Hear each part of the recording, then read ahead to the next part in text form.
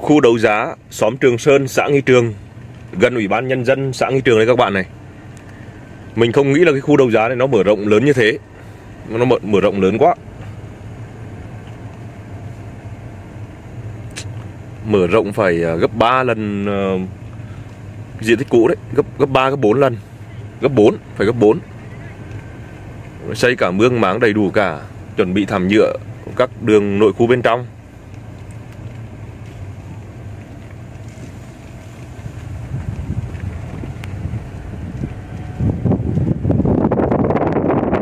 Quy mô như này là tương đương với một cái khu đô thị cỡ nhỏ.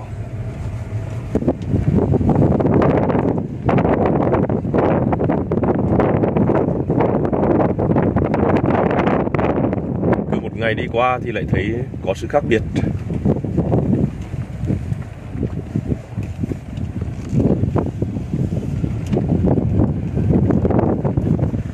Máy móc thiết bị đầy đủ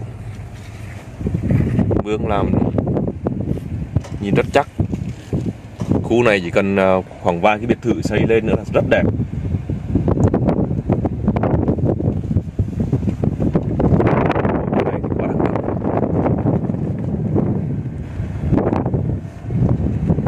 Cái khu vực này là khu vực đất đai bằng phẳng, không phải sản dựng nhiều làm đẹp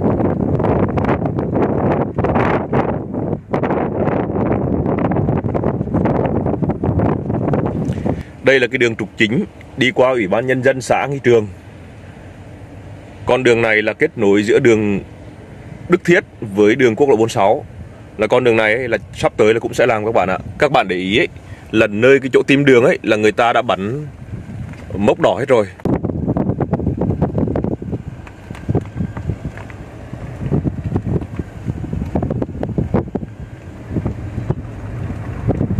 Khu này chỉ cần uh, đông đông dân một tí dân về đây sống. Mà xây đẹp như này thì chắc chắn là sắp tới là cư dân nghi trường ấy, là sẽ về đây sống. Chắc chắn luôn.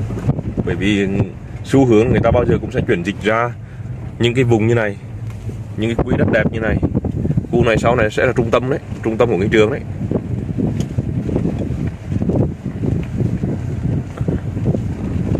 Ừ, các bạn thấy không? Ở đầu kia cũng có hai cái nhà xây rất đẹp.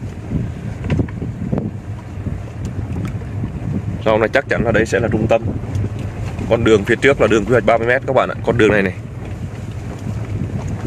Con đường này thì nối từ đường trục chính đi, đi qua ủy ban xã thị Trường chạy ra phía quốc lộ 48E đó quy hoạch 30m còn đi về phía kia ấy là sẽ đi ra à, đi ra đại học Vinh cơ sở 2 chạy thẳng.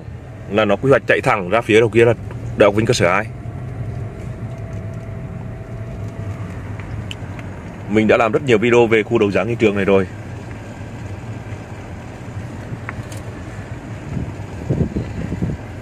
Đẳng cấp. Ok, cảm ơn các bạn đã theo dõi video nhé. Xin cảm ơn các bạn.